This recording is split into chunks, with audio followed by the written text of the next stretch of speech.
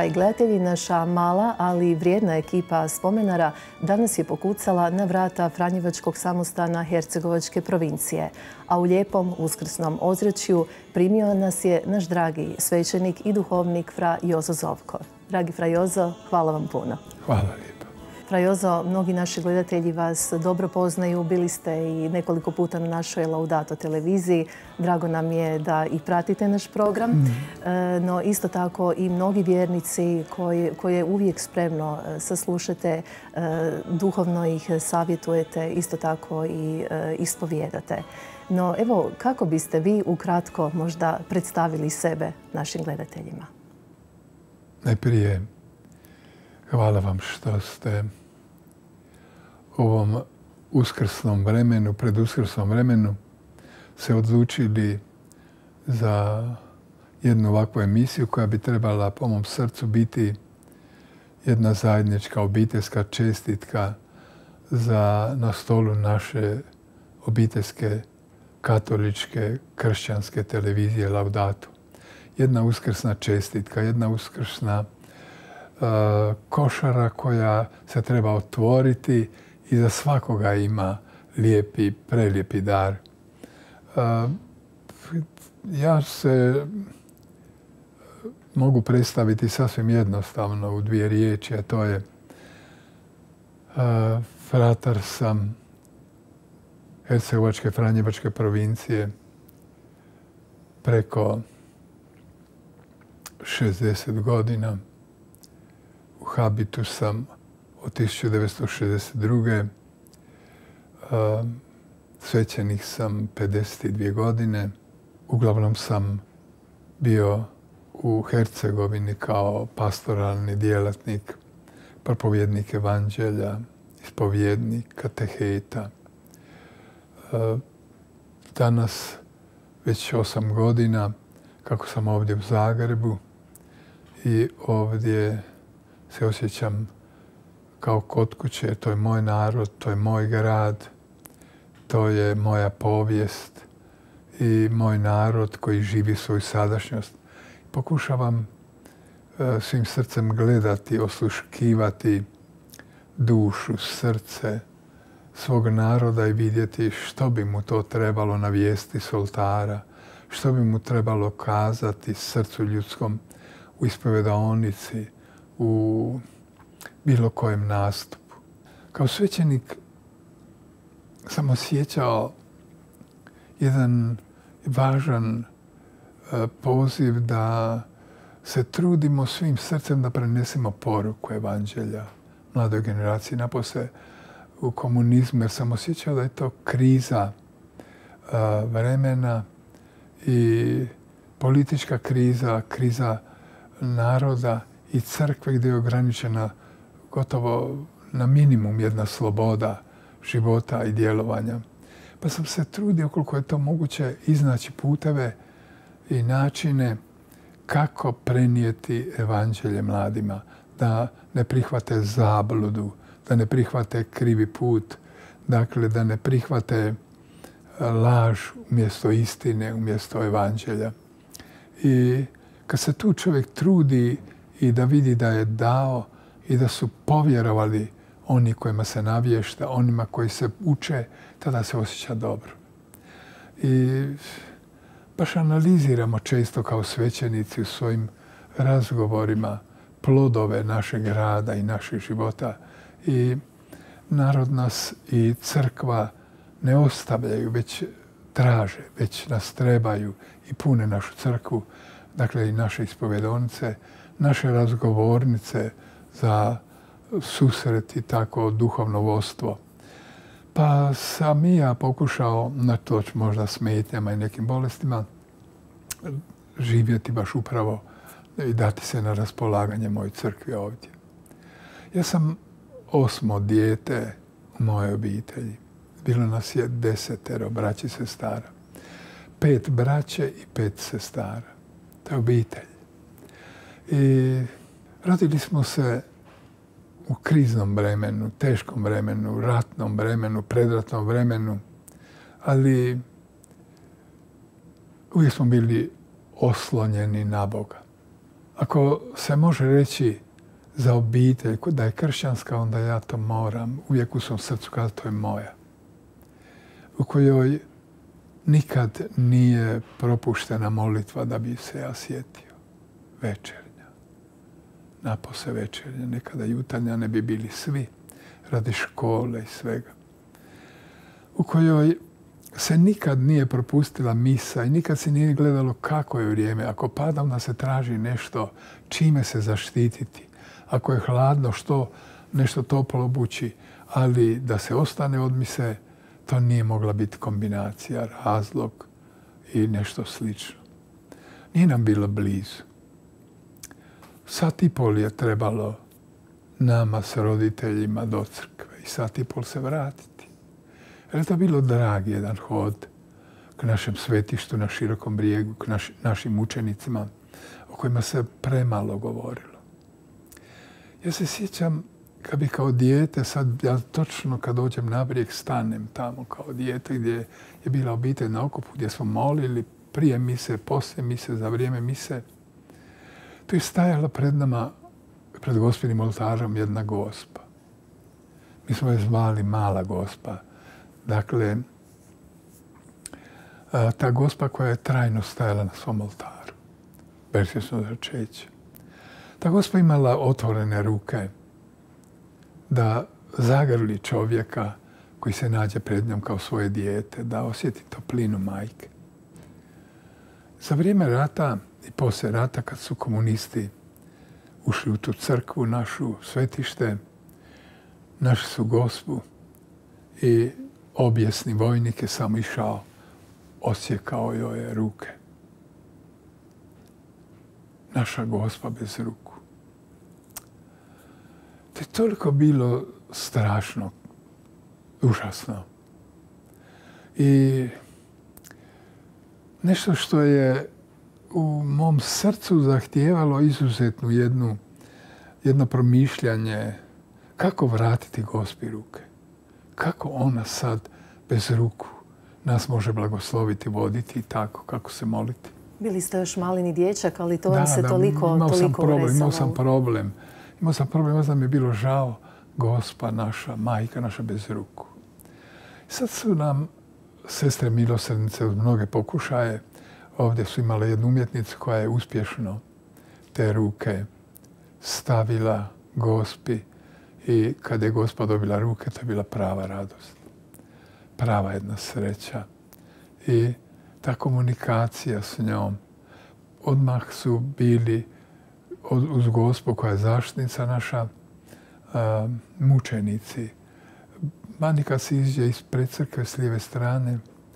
Stajao jedan ulaz, podzemlje i kao bunker i uvijek se kazalo tu su mučenici. Ali se tamo ne smije, tamo se ne da, e, tamo je zabranjeno, tamo se kontrolira, tamo e, ne možeš se zaustaviti, ne možeš moliti. Tako, to je bila jedna tuga opet. Jedna velika kazna da ne možeš kleknuti na to mjesto. Pa sam iz cijelog i svega tog ambijenta, dakle naših mučenika koji su velikani, opjevani u pričama, e, postali su svjedoci, mučenici u našem narodu, naši zagovornici. I iz najbližeg susjedstva i imali smo vrata uz vrata mučenika Fra Viktora koji je kao mladić tek završen novicijat e, došao u habitu kući, da noći kod kuće, jer Gvardija molio, opasno je, raziđimo se. On je pred sami mrak zaključio, ne, Ja sam u habitu i te konstitucije tog vremena su tražile da on ne može noćiti kao fratar sa zavjetima ni u svojoj kući. I on je kazao idem braći. I došao je, vratio se na široki brijeg, tim istim putem kod smo išli, kao što sam rekao, u crkvu, koji je natopljen uspomenama, molitvom i on se vratio sutra, jasno, bit će ubijen i spaljen s drugom jedanestoricom braća. E, to je nešto što se ne zaboravlja.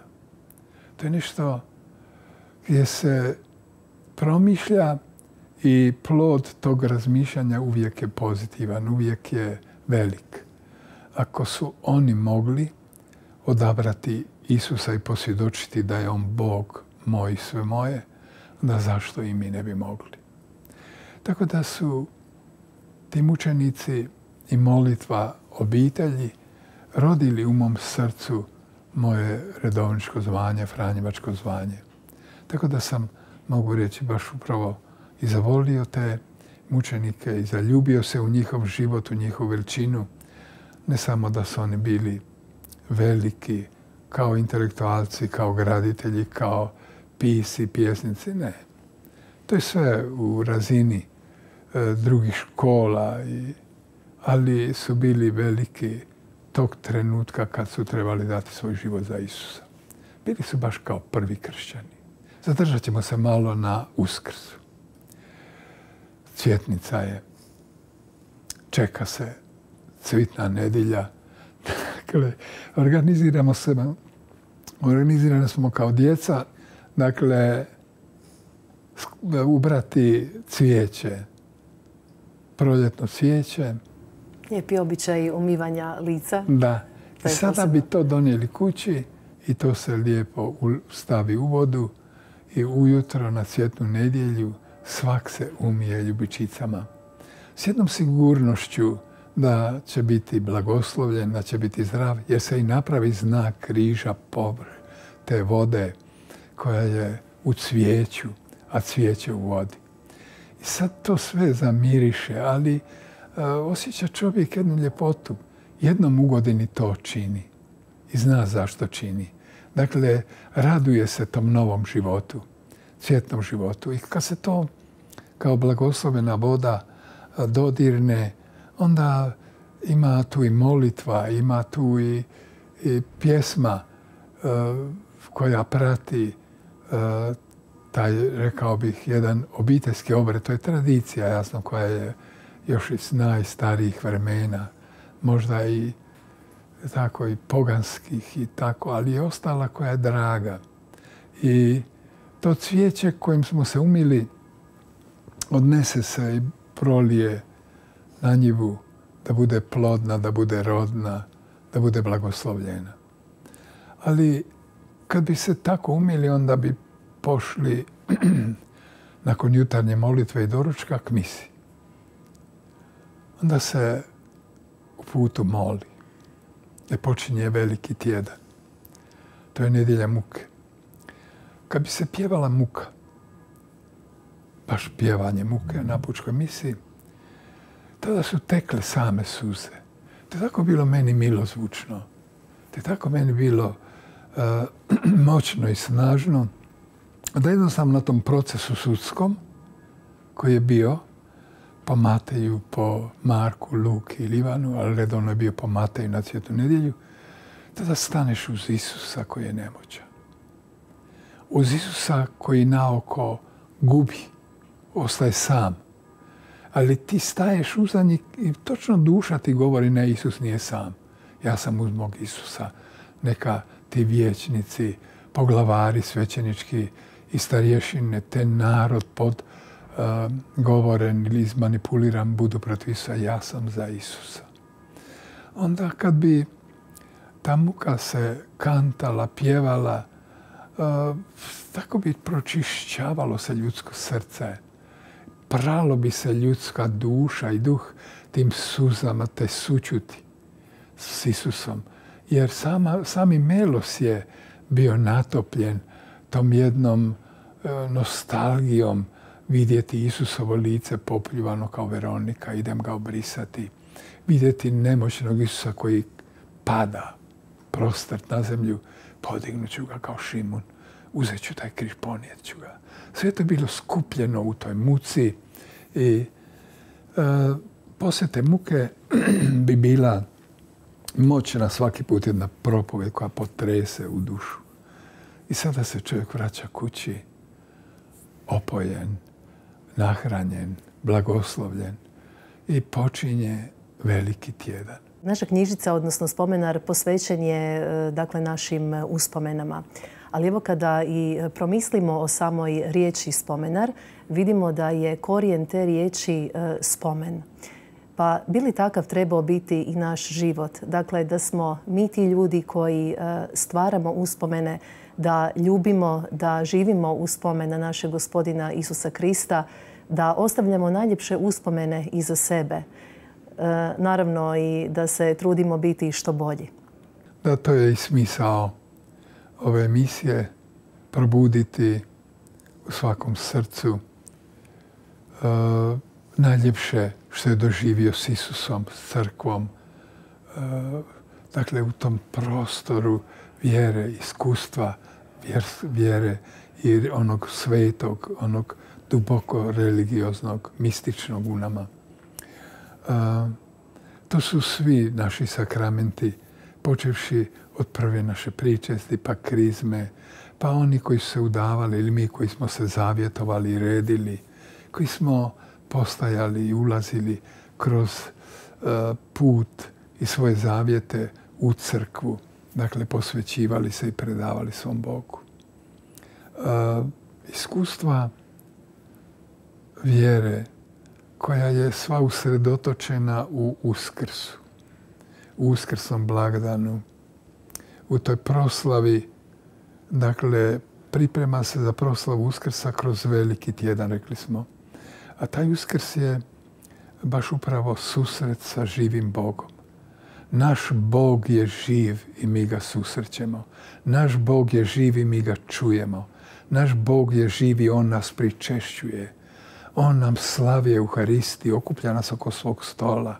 I taj stol upravo proteže se ili njegova riječ kroz sve naše dane života a napose kroz naše nedjelje koje su uspomena i spomen baš upravo uskrsnuća Isusova. Svaka naša nedjelja je taj osmi dan, uskrs, kad se okupljamo oko oltara i slavimo svetu misu. Frajozo, u našoj emisiji mnogi naši dragi gosti iz kulturnog života ili života glume, prosvjete, uvijek rado govore o svojemu djetinstvu i Bogu hvala lijepo i govore o njemu i prisjećaju se no, puno puta e, sam ja sebi ovako postavila pitanje kako se možda osjećaju naši dragi gledatelji koji nisu imali sretno djetinstvo, koji su u djetinstvu osjetili veliku bol. E, je li uskrs upravo to vrijeme da i oni sami pronađu snagu da se prisjete da nisu sami, da je gospodin uvijek uz one koje najviše pate, koji su najviše propatili upravo kao malena djeca, da čuju gospodina kojim kaže pružam ti ruku, niste sami. Da, baš upravo ovi dani daju doživjeti, pružaju taj doživljaj samima, ožalošćenima, ojađenima. Jer Isus plače u Gecemaniju. Isus se znoji krvi znojem. Isus se moli. I ta molitva bolnog, ojađenog, patnog čovjeka, ubijenog čovjeka u djetinstvu. Jer mi to znamo kao svećenici. Danomice susrećemo te srušene obitelji. Ta djeca koja iz daleka se prepoznaju da im je ukraden osmijeh, djetinstvo. I to su sebi priuštili roditelji da imaju pravo na to. Jer im to bož neki zakon dopušta. Ne zakon ljubavi im ne dopušta ubiti svoje dijete ili ukrasti mu djetinstvo, ukrasti mu korijen, vjeru, život. Ali toliko je Isusova ljubav u ovom vremenu jaka i poniznost njegova, da on kao nemoćan, jednostavno pada da svak može doći, poput Veronike ili Marije Magdalene, najveći grešnik, zagrliti mu križ i zaplakati. Isuse, oprosti mi, baš kao razbojnik desni, smiluj se meni, gospodine, danas, kad dođeš u kraljevstvo svoje. Danas svatko ima šansu. Na uskrs svatko od kršćana i svatko od ljudi ima šansu. Naš Bog je živ i on nam tare suse. On je rekao, ne bojte se. Ja sam vas otkupio, imenom sam vas zazvao. Isus izgovara moje ime i zato je potrebno kleknuti pred Isusa i čuti kako izgovara to moje ime, da bi ja mogao izreći njegovo. Isuse, molim te, ti si moj Bog, ti si moj sve. E, naše suze, naše patnje i bolove mi moramo naučiti sjediniti s Isusovim. To nije nešto što je odvojeno, što je nas usput zapalo zbog Adamova grijeha. Ne. Ne onaj hvalospjev svijeći uskrsnoj. Na vigiliju, na uočnicu uskrsa, dakle u bdijenju noćnom, je upravo poziv svima nama. Dajte mi svoje boli, dajte mi svoje rane, sjedinite ih s mojim. I kod svake svete mise, prinoseći na oltaru, kaleš svoje suze, svoje patnje, Isus sjedinjuje sa svojim. Jer to je obnavljanje muke i smrti gospodinove. I on pita što mi imaš darovati. I on kaže po proroku, ne dolazi praznih ruku. Pa ko ima prazne ruke? Gospodine, donio sam ti ruke. Svoje rupčiće pune suza. Donio sam ti ruke koje su svu noć bile na jezeru mog života i lovile i lovile, ništa nisu lovile. Ništa nisu lovile. Ali ja nisam se razočarao kao onaj starac Hemingway, ono, koji je, koji je lovio i 48 puta izlazio na more i ništa nije ulovio. A uvijek se starac nadao da će na svom moru donijeti kući nešto. Taj pisac koji je razmišljao o tom uzaludnom životu je završio samobojstvom, Hemingway. Ali danas, danas kad mi vidimo apostole koji su uzalud lovili ribu, uskrsli im Isus kaže bacite na desnu mrežu. Ta mreža je puna. Kad kršćanin čuje Isusa i posluša ga, on nije razočaran, on nije prevaren, njegov život nije uzalud. Danas uskrs želi otrti suze svima. Nema te udovice, nema tog siročeta kojem danas uskrsli Isus neće otrti suze i razlomiti kruh nade i utjehe. Ne boj se, ja sam od te otkupio, ti si moj. Isusa pogledati na uskrs i vidjeti to uskrsno lice, puno nade, puno svjetla, puno blagoslova. Zaključimo baš kao i Marija Magdalena. Rabuni, ti si moj učitelj. Isuse, od tebe nigdje ne želim. Od, s tobom želim ostati. Dakle, uskrs je blagdan nade, utjehe, jednostavno susreta sa živim Bogom koji našu uh, dakle, samoću pretvara u radost. Naša razočaranja u jednu veliku nadu. Život ima smisla jer je s Bogom i u Bogu. Eto, Uskrs je zaista najveseliji blagdan, najveći kršćanski blagdan.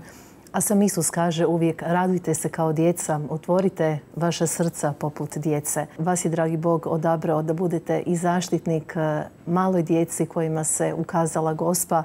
Vjerujem da je to bio najveći blagoslov za vas, ali je li istovremeno bio i križ?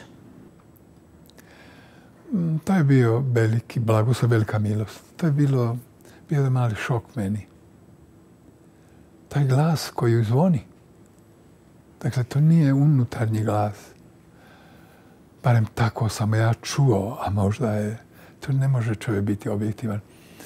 Iziđi zaštiti djecu. Kad sam išao na, srednja vrata, držim kvaku od vrata. Gdje djecu? Kako? Iziđi. Jer mi kaže, gleda da. Ja se poklonio baš dok, ono, do poda, ponizno, moćno, s. I ja držim tu kvaku nema. Kad tamo od jedne stare škola koja je srušena s lijeve strane, kad se gleda u crku s desne strane, su tako štrčala djeca. Jednostavno su stala, naš naglo se zaustavila kad mene vide. I kaže, zaštiti nas, goni nas policija. Ja s njima trčim. sam 38 godina bio mlađi. trčim s njima, otvaram im kuću, otvaram moju sobu i kažem, tu budite. U tišini, u miru, nemojte vikati da vas ne čuju. Ja sad izlazim i gledam na brdo, puno brdo naroda. Odakle su pobjegla djeca, crkvi. Ide policajac. Dobar dan, dobar dan. Jesi li vidio djecu? Da. On je samo brže produžio prema selu, prema Bijakovićima. Sjećam se, drži taj svoj uh, pištolj, drži to svoje oružje koje ima zavezano opasač. Onda dolazi drugi. Ja sam htio se vratiti u crku.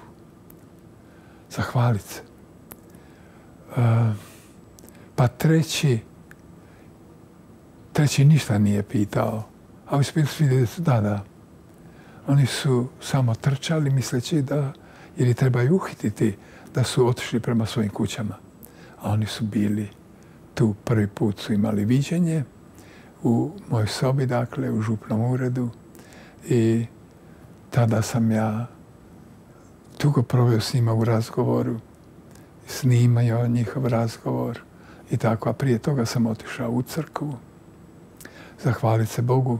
Kad sam vratio u kuću, da sam našao puno svećenika koji su htjeli da im nešto kažem, da im pričam moje iskustvo. Ja nisam to nikome htio kazati tog trenutka dok to sve u meni ne sazrije duboko, ne slegne, da, jer ništa ne koristi. Tada sam osjetio da, da je riječ ljudska ništavna, da su to znatiželjne riječi koje ko vitla vjetar i tako želja. I ostao sam s vidjocima i bio sam baš ono pomazan jednim mirom, jednim blagoslovom što sam čuo djecu koja su razgovarala s gospom i čula gospu. Kasnije je jasno da je trebalo i pretrpjeti nešto za taj e, stav e, obraniti djecu, ne dati djeci, zaštiti djecu, ali prije svega zaštititi gospu koja se tu ukazuje, ne zanijekati, već priznati, zaštititi. Kad govorite o križu, taj križ je zaista postao veliko stablo tolike milosti, toliki darova, tolikih obraćanja. Zahvalan sam Bogu ako sam mogao bilo što pretrpjeti za dobro i procvat Međugorja. I kako ste puno pretrpjeli i osjetili veliku, veliku bol, jer ste samo zbog istine i vjere potvrđujući da vjerujete djeci da su vidjela gospu, završili u zatvoru i to e, osuđeni na e, tri godine. Tri pol godine. U zatvoru ste e, proživjeli i vrijeme korizme, ali i vrijeme uskrsa. Vjerujem da ste puno, puno toga i promišljali i osjećali, a i pitali se. A možete li zamisliti kako je to bilo čekat na uskrs? Ja jednom predložim, ajmo pisati. Ajmo pisati pismo pa imamo opet drugo jedno pismo, pa treće pismo. međunarodnim komisijama, ta ženevska konvencija i druge koje daje pravo zatvornicima da imaju osnovna ljudska prava. Onda mi nemamo kao svećenici nikako pravo. Ja sam tražio Bibliju, on kaže ne, ti si radi Biblije u zatvoru, ti ne možeš to imati. Kad uđeš u tu knjižnicu, ili pitaš da ti dadnu knjigu, da sve moguće gotovo možeš naći osim Biblije. Biblija je bila zatvorena, Biblija je bila dakle knjiga isključena, zapečaćena, dakle, prozvana, osuđena. I dijelili smo sudbinu njezinu. I ona s nama svoj. Tražili smo, evo, da možemo imati svoj molitvenik, svoj časoslov. Tražili smo da možemo slaviti sami misu. barem nedjeljom i blagdanima. Nisu nam dopustili. Da smo se žalili međunarodnim komisijama koji su dolazile, ali nisu ništa uspjeli. Kad sam slušao i čitao o zatvorenicima iz Vijetnama, iz Albanije, pa ja sam tada u svom srcu bio i žalostan i sretan. Žalostan sam bio kako se ja nisam sjetio kao taj fratar albanski e, da umjesto kaleža ili čaše na dlanu on je sjedio bobu grožđa. Uzeo komadić kruha posvetio i pričestio se. Kako ja to nisam znao. Sam tako bio tužan. Pa sam onda poslao zatvorenicima, svećenicima u zatvor, da koji se moglo doći, dakle, sestra pokojne Fraferde, da odnese vina i gore je bilo ulje koje pliva. Se moglo pronijeti. Tako su stari ti zatvorenici nosili vino zamisu u zatvor. Nismo bili ono spremni, e, naučili. Sada ono što nismo slavili dok smo bili skupa, oni su počeli slaviti. To je posebno jedna, jedna misa koja koja ništa nedostaje, a ima, a sve joj fali, znaš. I sad kad ispovjediš kao svećenik takvog jednog čovjeka nakon deset godina i više godina u zatvoru, ali ne možeš ga pričestiti. Fali nam Isus. Da bi ja učio od njih da se duhovno pričeste, kao što nas uči crkva. Dakle, onda bi ja citirao evanđelje da se pričesti riječju Božjom. Pa onda poučavao bi u molitvi, da zajedno molimo. Da bi nas progonilo jer bi se to čulo. To je jedno iskustvo i druga iskustva ljudi koji su se ispovjedali. Se ne da opisati. Traženje Boga, traženje Božeg mira. Ali Bog je nadomirio na svoj način nama tu patnju i mirom nas ispunio i nahranio nas i opraštajući nam grijehe i slabosti. Frajozo, 40 dana prije Uskrsa pripremamo se za e, uskrsnuće našeg gospodina. E, no mislite li da evo danas e, u ovo užurbano vrijeme, kada sve nekako radimo na brzinu, zaista shvaćamo važnost korizme? Koliko je važno odreći se onoga što nam nekako najteže pada? Možda nekih naših loših navika, loših dijela da ih prestanemo činiti. Svaćamo li danas važnost korizme? da barem se odreknemo malog dijelića onoga što nas pričava da gledamo gospodina u oči. Bez korizme nema uskrsa.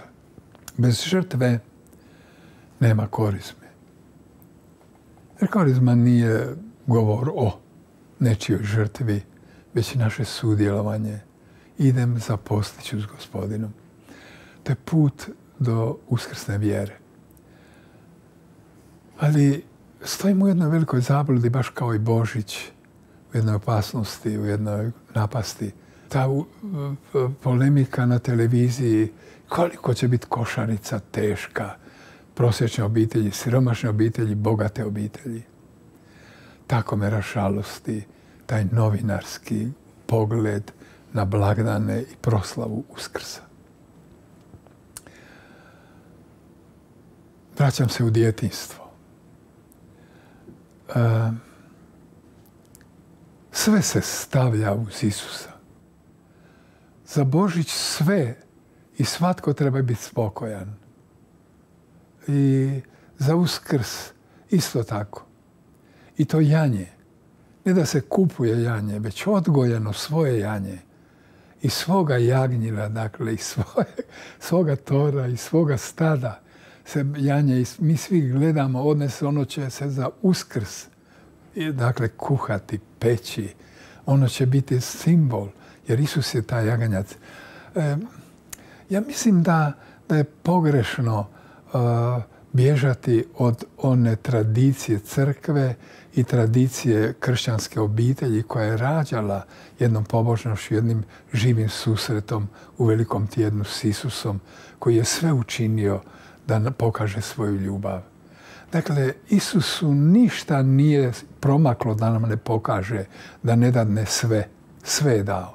Fra Jozo, u uskrsno vrijeme posebno smo u mislima s našim najdražima koji su sada kod gospodina. E, to je vrijeme i okupljanja kada je obitelj zajedno, kada nakon svete mise svi blagujemo.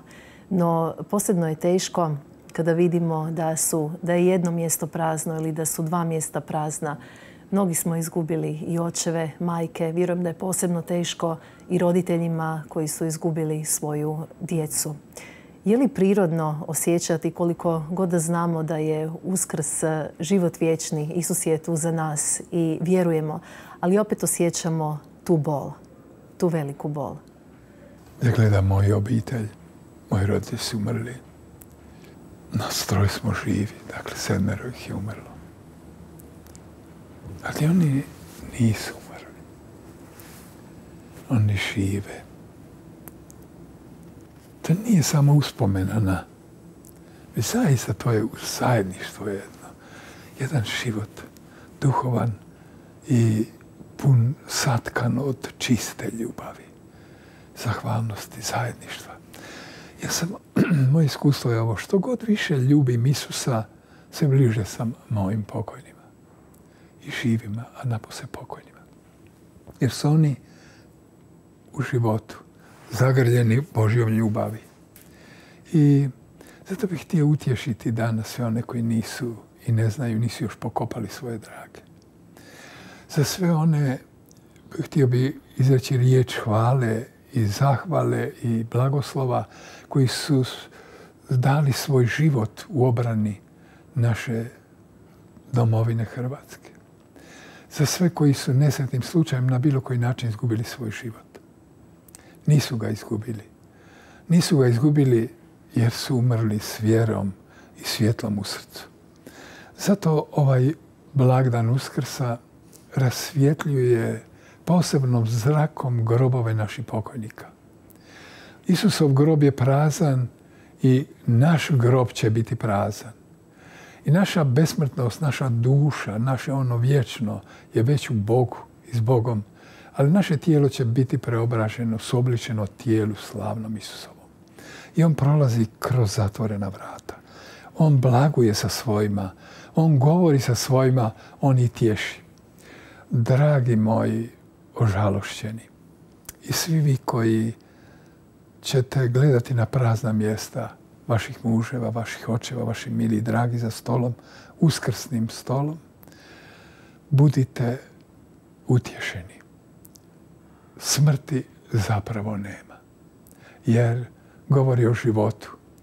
I nama je život darovan i mi ga imamo. Mi ga ne želimo izgubiti i ne možemo izgubiti. Jer ima križ. On je svoj život dao i izgubio da mi ga stečemo. Zato neka veliki petak bude pokret naše dubina, srca, oni žalosti i nek se preobrazi baš kroz Isusov grob u Isusovo slavno uskrsnuće, u tu uskrsnu svjetlost, u to aleluja, u to život vječni, u to radujte se. Dakle, smrti nema. Zašto? Jer on koji je kazao donio sam vam život, jer želim kogod živi i vjeruje u mene neće umrijeti. Nije umro tvoj muž, nije umro tvoj brat, nije umro tvoj sin, nije umro tvoj prijatelj, on živi u Bogu. I mi ovdje, ako živimo u Bogu, a živimo u uskrsu, a živimo, onda ne bojte se. Ne bojte se, na to zajedništvo crkve nas okuplja i ne vara. Ovaj blagdan nije prijevare, blagdan nije fantazma, dakle nije izmišljotina, nije ono utvara, već je ovaj blagdan istine.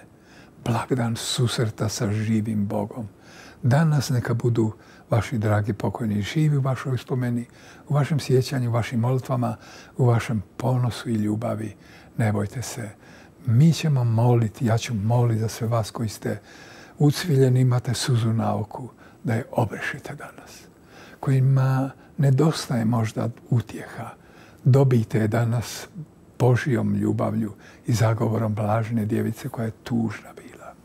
Za koju reče prorok imali boli kao što je bol moja, nema je. I nijedna mama nije bila bolnija od nje, ali se na uskrsno jutro utješila. Utješite se, mame, očevi, utješite se.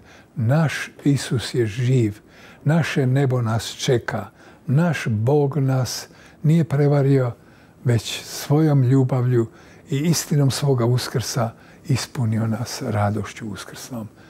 I zato veselite se i radujte. Sretan vam svima i blagosloven uskrs želim. Bog neka vas blagoslovi i obdari svojim uskrsnim plodovima, darovima. Hvala vam iz svega srca što ste ovim lijepim razgovorom ispunili naša srca i naših brojnih gledatelja.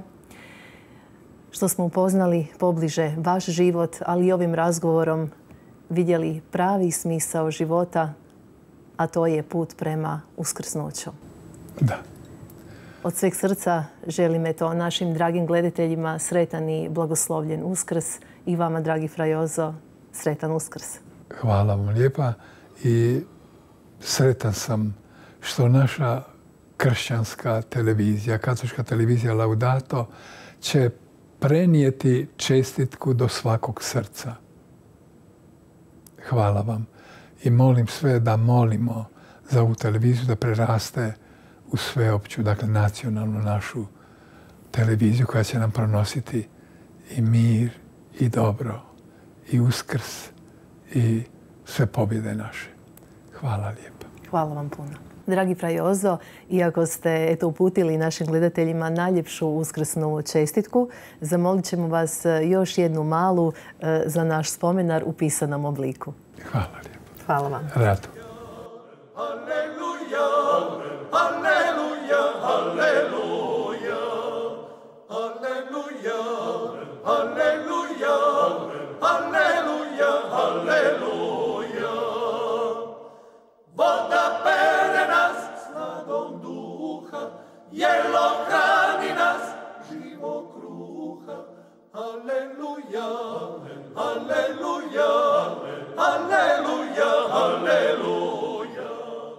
Uskrsno Isus doista, aleluja. Svim samoprijegornim djelatnicima TV Laudato koji spremaju najljepše domjenke svojim gledateljima, želi milostan i blagoslovljen uskrs. Molit ću da vaš zanos i vaša poruka ne prestanu. Budite glasnici uskrslog gospodina. Na svemu dobru srdačno hvala i čestitke Kseniji i cijeloj obitelji Laudato. Frajozu. Hvala puno. Aleluja, aleluja.